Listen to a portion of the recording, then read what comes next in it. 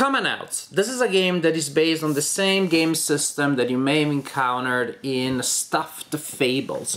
It is an adventure book game. That is, the board is not a single board, comes in uh, in the form of a book, uh, large glossy book. On the and when you open it, on the left page you will have the board, a playable area, and on the right page you will have instructions. So what happens in the different areas as you as you travel with your game pieces, and then you will reach certain spaces and it will trigger certain content described on the right side and they'll tell you, well, now travel to page 58, and then you travel there and you set up the new board, you reach a new place, you discover new things, etc., etc. I thought I had invented that system. Not really. A couple of years ago, I was playing a game in the Fire Emblem system, and I thought, wouldn't it be great after playing that video game if we had a board game that does that, but we would need multiple maps and multiple mini games. And I was planning at some point one day to design something like that. Uh, they preceded me, and that's fine. On the plus side, I can play these games, I don't have to design them. Comanauts. So Comanauts has this idea of exploring different areas, explore, exploring different places. As for, the, as for the theme, Inception, the movie Inception, this is pretty much Inception, the board game. We are traveling here in the mind of a famous scientist that is in a coma. We need to identify and defeat the inner demons that are preventing the scientist from uh, from waking up. We need to do it before the body of the scientist collapses, and if uh, we don't wake up the scientist, of course, it's gonna be the end of the world.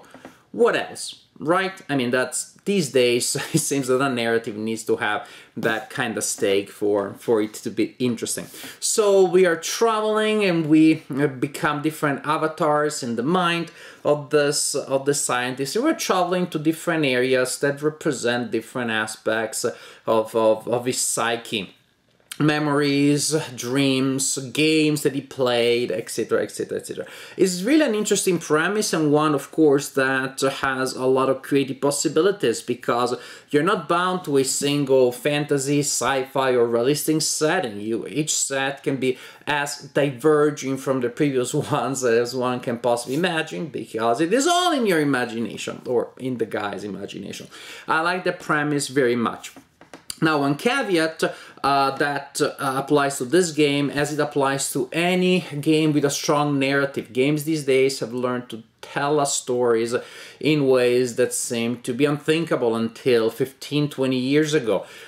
Now we have games that tell us stories with plot twists, with new elements introduced mid-game, with campaigns that the different games string together into a larger, more epic, overarching narrative. The price to pay is always replayability, meaning after a couple of times that you play the game, you can still play the game, go through the steps, go through the motions, but of course, by definition, the plot twists are not there anymore. The surprises, you have discovered them. That is something that is typical in fiction. We know that you can play, you cannot read a book infinite times, even your favorite books, you're not likely to read them more than 15, 20 times in your life, and that would be a lot. But we used to expect to be able to play a game maybe 15, 20 times.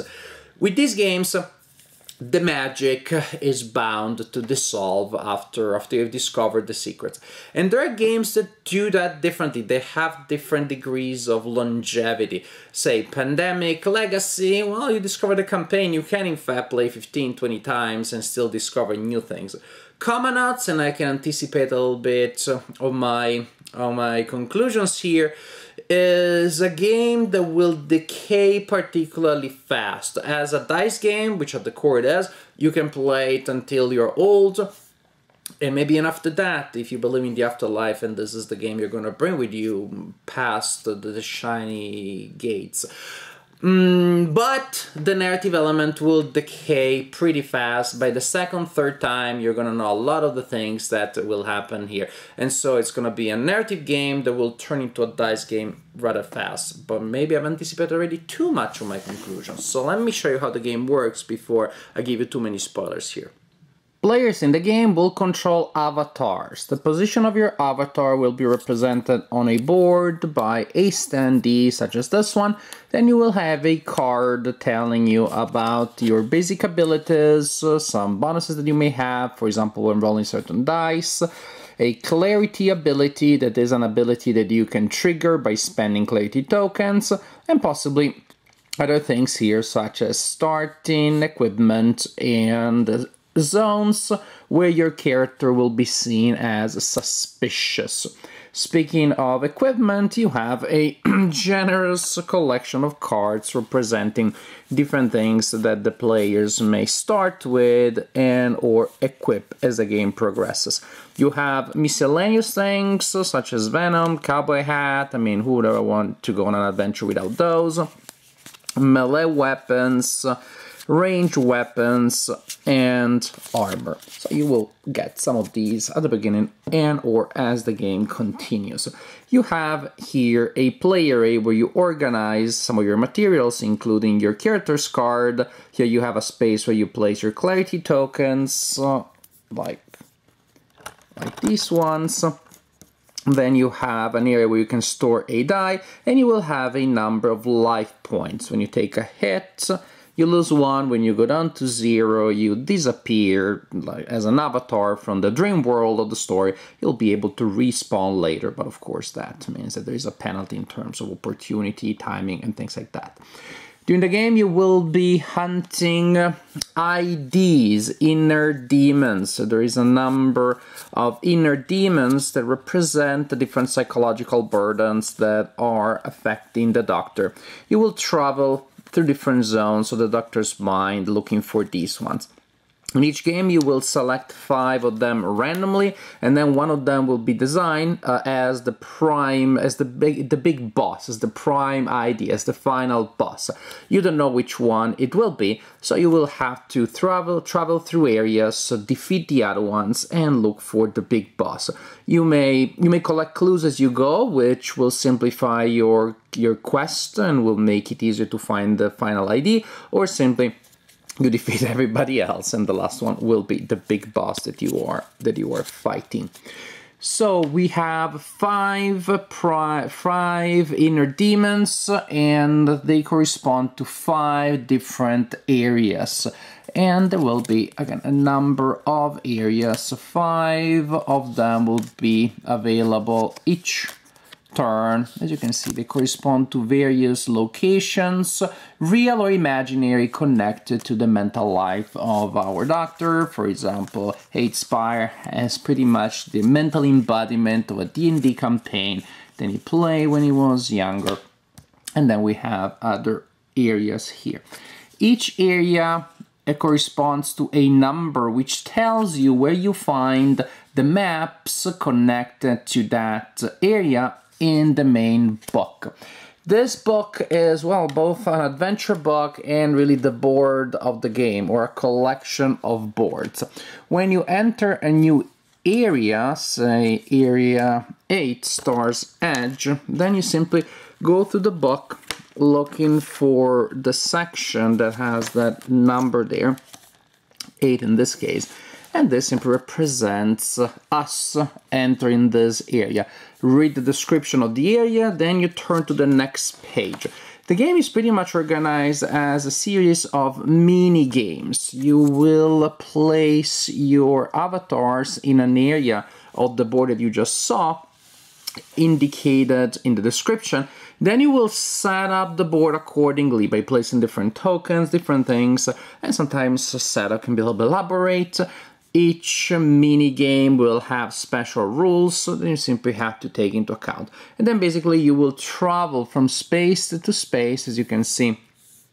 Spaces are divided by these lines, and dotted lines are easier to move through. Color lines, like I don't know if you can see that that one is green, for example, a little more complicated because they require specific dice of the same color to move through dotted lines you can move through by using any die as you will see soon.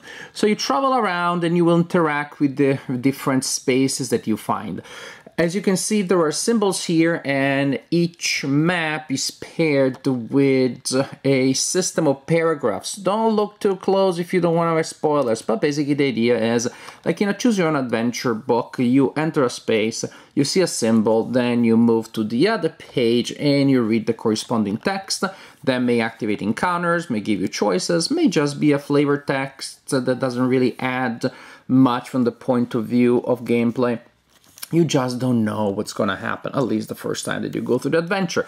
Because the second time in a later game that you go through the same map, then you will know, you will remember easily what happened and what is the easiest way to get uh, where, where you need to go.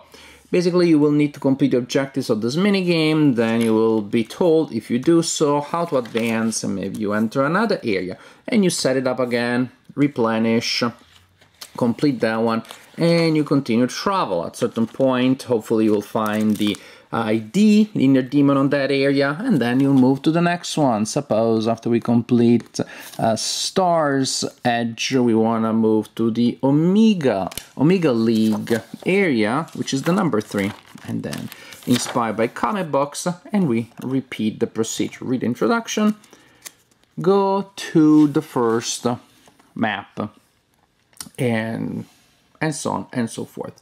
Now, how do we move through areas and how do we do things? Basically by using dice. This is a dice game at its core with a lot of different things going on, but ultimately you are manipulating sets of dice and optimizing your chances of getting the results that you want. When it is your turn, suppose this is Bridget's turn, you draw five dice from the back. Oh, that was exactly five and dice are of many different colors. And then you resolve the dice that you drew in a specific order. Suppose that these are the dice that I drew. First you resolve white dice. White dice will allow you to acquire clarity tokens that, as you may remember, will give you uh, special abilities and also will give you rerolls. A core idea when you're rolling dice in this game is you can choose, if you have multiple dice of a color, to roll them individually and look at the results individually, or to roll any number of them together and to total the results. The advantage to uh, succeed in your tasks, usually you need to roll equal to or higher than a certain result. That means that if I have a high number, so I'm trying to meet a 6, meet or exceed a 6, well, probably want to roll multiple dice together and add them together. If I'm trying to beat a reasonable number, say 4, then I may decide to roll dice individually, hoping to get multiple successes in case I roll 4 or higher on multiple dice.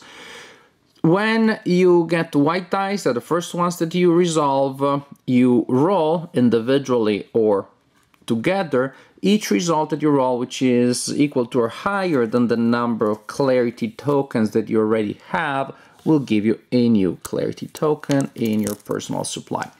Then the black dice. Black dice, some have red pips, some have white pips, but the general idea is that they represent mounting threats. There is a board here they will place next to uh, the adventure book They will tell you the situation is safe if there are no hostiles on the board or hostiles if there are enemies on the board. When you get a black die, for the time being, you simply place the dice in that in, in these slots here Later, there will be enemy cards that will be placed here, and if there is a number of black dice equal to or higher than the enemies available, then the enemies will activate, they will take a turn. After you resolved uh, white uh, and or black dice, you may have drawn the translucent die, which will activate Dr. Martin's inner child. You place it on the board, different things may happen and also, when uh, that happens, you will draw a card from this deck here. This deck tells you how the guy is going, uh, how he's doing. The cards may tell you that he's stable, that he's critical, bad stuff happens, and basically this is the timer of the game. You need to locate the prime inner demon and defeat the inner demon before you draw the flatline card, which will be shuffled towards the bottom of the deck. Finally, you will finally get to use the other dice if you have any for actions. And these are the um, the basic action dice that you will actually spend to perform actions. The purple die is a wild. You can use it to replace any of the other four action dice. Generally speaking, red dice will be used specifically for melee combat, green dice for range attacks and agility based tasks, yellow for searching or smart based tasks, and blue for resistance based tasks. You can spend the dice that you have in a, in a variety of ways. There's a lot of flexibility. You can spend a die, any die, regardless of color, to move through a dotted line. You can also uh, discard any two dice of any color to get a die of another color from the discard pool, that is dice that have been discarded earlier. You may choose to save a die. You save a die that you maybe don't need this time and you put it on your mat and simply you can use it another time. You may also choose to give a die to another player, then you simply place it on their mat as if it was your own. And then you can use dice to, well, to, com to complete specific tasks, challenges that will be given here to you. Sometimes it's a single die roll, maybe it's a group task, then you will take multiple dice that will be placed on the group task. Say you're completing a group task with a difficulty of 18, then you simply need to roll dice of the appropriate color until the total plays on that track meets or exceeds the difficulty of the group task. Um, for combat, well, you roll red dice if you're in the same space with an hostile, green dice if you are shooting from another space and you're trying to meet or exceed the defense value of the enemy, in which case you defeat the enemy unless it is a boss, then in which case you simply remove a health point of the big boss. Uh, this would be pretty much the general idea, uh, just to show you how the enemies act when they are activated. Enemies, as we said, will have a card, cards there. I'm getting random cards, trying to reduce as much as possible the, the spoiler danger of this video when you activate an enemy because they're taking a turn. Then simply for each enemy you will roll a die. Of course the enemies will be represented on the board. Like so for each enemy, you will roll a die and then you simply see the range in which the result falls will tell you the action of the, of the enemy. This is movement, the enemy may not move or move a number of spaces. This is the range of the attack and this is the strength of the attack. The enemies usually will try to attack the heroes when you're the target of an attack. If you do not have any die store on your mat, then uh, nothing that you can do. You cannot defend, you will take a hit. If there is a die, you may choose, choose to spend to defend. If you have a die, you may still choose not to defend and take a hit automatically. If you choose to defend, you roll the die on your mat and you need to roll equal to or higher than the strength of the attack to be able to dodge the attack. Otherwise, you take a hit as normal. And this is pretty much how you how you complete or how you resolve combat. And this in general is how you play Comanauts. By the way, I said in the introduction that I was going to give you spoilers. I didn't want to give you spoilers. I'm not going to give you spoilers. This is a spoiler-free review. I'm not going to tell you about the exact secrets that are to be discovered, but I can tell you that you'll find them out fairly easily. Um, the point that I was making in the introduction, that I introduced then, is this. In the game, you mix and match the different locations that you will discover. That means that starting from the second game, some of the locations you already know. And each location is fairly scripted. Maybe you have two ways to go about things, but once you discover why, for example, uh, our scientist has certain feelings uh, for a certain situation, what caused that, that uh, is, well, they already know that, so that magic is gone. Procedurally, also, you will figure out what is the best way to go from A to B and how to navigate a certain a certain world, imaginary world, how to uh, walk around a certain obstacle, how to collect resources, to defeat a certain monster, etc., etc., etc. Say, with games like Pandemic Legacy, in scenario 12, 13, 15, I'm still discovering legitimately new things. Here, uh, and actually those new things probably will present me with new game challenges. Here the problem is that after you played a couple of times, uh, you're gonna know some of the landscapes, which means you're gonna have uh, not a narrative surprise anymore, and the game challenge also decreases because then you already know how to navigate it from the point of view of gameplay. So there are legacy style games, or in any case narrative games, uh, scenario based games, in which uh, each new step adds new content and adds new challenges. Here the opposite is true as in fact both the surprises from the point of view of the theme and uh, the problems to analyze in exquisitely gamic terms are going to decrease and decay and decay very fast. And so what you have here then is a dice game which feels overproduced. Now, mind you, let me clarify this. As a dice game, I like it. I like it's uh, it has smart ways in which you handle the pool of dice, in which uh, you can you can save dice for certain tasks, you can trade dice, in which uh, certain the bad dice will activate certain bad effects, but in a way that is very uh, self-regulating, has interesting uh, self-balancing mechanism. I think it makes for a fun dice game um, along the lines of games such as you know Elder Sign. But Elder Sign um, still gives me enough of a story, um, but it doesn't take me 20 minutes to set up, for example. It's not a big box, it's not a big production. There's a ton of components in here, which is great, but it also means extra time and extra effort to sort them out, set them up, put them back in the box, etc, etc, etc. It is a big production for what, after a couple of, couple of times that you play it, becomes uh, Elder Sign, the magnified version of Elder Sign. Um, and at that point, I feel like, well, if it is a dice game, ultimately, I'm trying to figure out should I use two dice of this kind, trade this die for that, da, da, da, then there are just other games that do that without all of the logistical uh, complexities. While the story last is good, while the story last it was surprising, actually the fact that we're going to different mental landscapes that had nothing to do with one another, from the far west to sci-fi to fantasy to realistic, etc, etc, etc. It was great. Actually, the surprise was all the most powerful precisely because um, it's a multi-genre game. It's almost like really and truly different genres. Lots of surprises, different encounters, different situations. But after that, after that, uh, you have a dice game, which is just cumbersome to play. So pretty much this is my assessment for Comanauts. I like the, the engine, the dice engine is strong throughout the experience.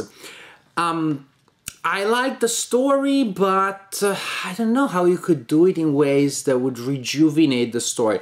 One thing I guess could be, uh, of course, we take a lot of design, uh, to have expansions in which you don't even necessarily need to buy a new game, but say, for fairly cheap, they give you files that simply change the text. The maps are the same, but now you use the other text associated with the same map and now the map does different things. The map tells you different stories. And you know they could release that. Maybe it could be fan expansions. I think there are ways of doing that. That would be great. As is the game uh, after a couple times that you played has uh, has lost its magic in terms of the story it has become a dice game that, as I said, is just a little cumbersome to play and probably, as a dice game, not my first option for, for a game of this kind to play with my friends. Comanauts is fun while it lasts.